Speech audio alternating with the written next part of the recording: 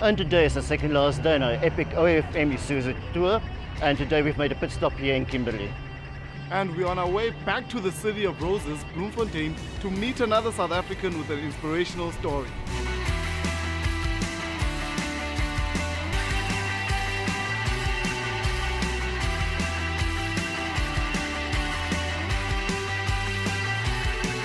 So we've just left Kimberley on our way to Bloemfontein to deliver our fourth prize to a remarkable lady named Gillian Jones, who has a very sad but uh, comforting story. Uh, she's a quadriplegic after she was involved in a car accident on her way from work years ago. But uh, this woman has shown some strength and has continued with her life. This, this story is a remarkable story. Gillian showed some guts and perseverance. You know, she's still doing rugby in a wheelchair. She's still riding a horse. I think that's a real sign of a hero like Isuzu.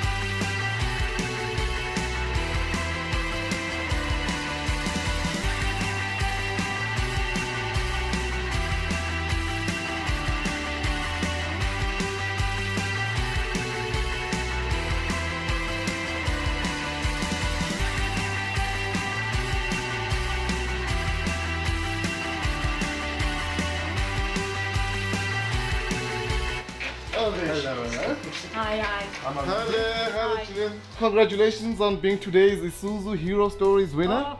This is uh, your very big uh, check over here. I don't know if you'll have space for it, but uh, this is what I'll we're gonna make space for it, thanks. And Ian also has something for you.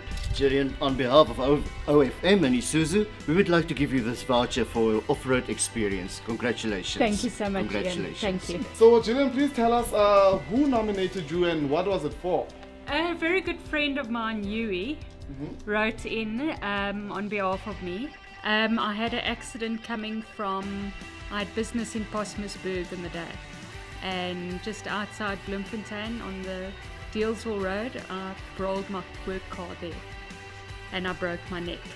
And spent two months in ICU and four months in rehab. But now we're all out and healthy again.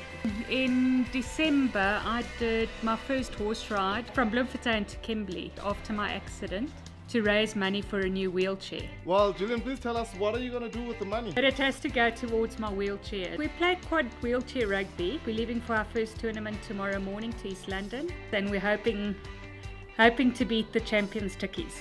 A lightweight wheelchair costs around fifty thousand. So I've still got quite a bit of saving to do, but we'll get there.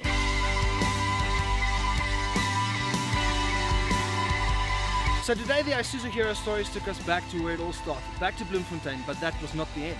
Yes, we went to deliver the prize to our fourth Isuzu winner. Uh, she, uh, Gillian Jones, got herself 5,000 Rand and 2,000 Rand off-road academy voucher. Yeah, Isuzu really outdone itself again. And now we're on our way to Bethlehem, to our last winner. So go follow the rest of the trip on Twitter at OFM9497.